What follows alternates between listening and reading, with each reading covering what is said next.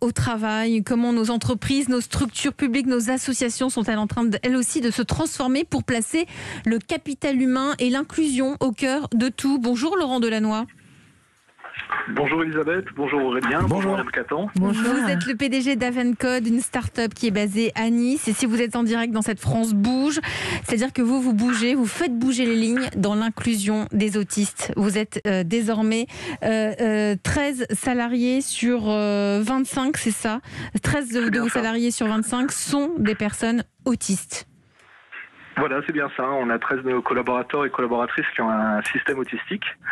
Alors nous, on travaille avec des personnes adultes. On est on est dans les métiers du, du numérique et de l'informatique, et euh, nous avons une démarche d'inclusion euh, qui, qui a pour objectif de permettre à, à, nos collaborateurs et collaboratrices de nous quitter après une certaine période, souvent quelques années, euh, en, en pouvant évoluer dans le milieu professionnel dit ordinaire. Et donc j'imagine que c'est du, cas par cas, euh, ça peut être quelques mois, un peu plus long s'il le faut. L'idée pour vous, c'est vraiment qu'ils puissent ensuite euh, bah, postuler ailleurs euh, en toute liberté? Voilà, il y avait il y avait deux challenges au début. Il y avait un challenge de ben déjà euh, de faire reconnaître que travailler avec des personnes euh, en situation de handicap, dont certains ont un système autistique, c'était euh, c'était quelque chose de, de, faisable. Où les entreprises peuvent retrouver des intérêts à la fois en termes de qualité de livrable, et c'est surtout là-dessus que nous travaillons, mhm. tout en termes de tout autant qu'en termes de, de, de, retour sur investissement. Alors mhm. nous on a on a cinq ans d'existence, on a la chance d'avoir des, des, grands comptes et, et des entreprises entreprises petites qui ont commencé à nous faire mhm. confiance. Voilà, mhm. souvent ça commence par un petit contrat, et puis petit à petit ça se développe. Et là, on arrive à avoir des contrats pérennes euh, sur des budgets annuels avec de très belles entreprises, et on a surtout un bon résultat par rapport aux personnes, euh, aux personnes qui travaillent chez nous. Est-ce qu'il y, a une personne qui vous a marqué particulièrement dans, parmi vos salariés? Oh, il n'y en, en, a pas une en particulier, mhm. il y en a beaucoup. Il y en a beaucoup. C'est un métier qu'on fait qui est, très attachant et très riche en termes humains. Euh, ce que je peux vous expliquer un peu, c'est euh, ce que nous proposons. Donc, euh, nous, on n'a pas de réponse.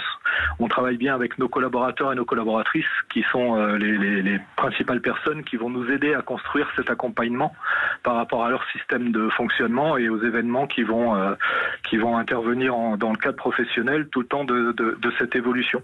Alors, on a fait le choix de ne pas travailler exclusivement avec des personnes avec un système autistique, parce que mhm. pour nous, la diversité est très importante et il faut bien qu'on crée ces échanges entre les deux systèmes de fonctionnement ou, plusieurs pour qu'ils puissent avoir des événements. Et j'imagine que l'objectif, c'est qu'ensuite vos collaborateurs puissent aussi partir dans un milieu entre guillemets classique. Exactement. Que l'inclusion soit réussie totalement. Voilà, nous on a un objectif de proposer un environnement de travail qui prend en compte ce que l'on appelle les spécificités de fonctionnement de, de, nos collaborateurs et collaboratrices. Et à côté, on a une méthode qui a vraiment comme objectif d'augmenter leur employabilité. Alors sur ce, on travaille à la fois sur des aspects techniques, avec des petites formations ponctuelles auprès d'entreprises qui sont très reconnues dans les, dans les grands comptes vers lesquels on va essayer de faire évoluer la carrière de nos collaborateurs et collaboratrices.